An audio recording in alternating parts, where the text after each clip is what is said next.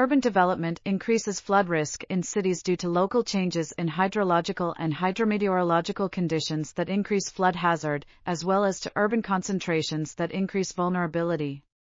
The relationship between the increasing urban runoff and flooding due to increased imperviousness is better perceived than that between the cyclic impact of urban growth and the urban rainfall via microclimatic changes. A set of model simulations were used to construct future scenarios, combining these influences for a typical third world city, Can Tho in Vietnam. The results show that under the combined scenario of significant change in river level due to climate driven sea level rise and increase of flow in the Mekong, and business as usual urbanization, the flooding of Can Tho could increase significantly. The worst case may occur if a sea level rise of 100 centimeters and the flow from upstream happen together with high development scenarios. Detailed research on adaptation is necessary for future investments to be effective. This article was authored by H. T. L. Huong and A. Pathirana.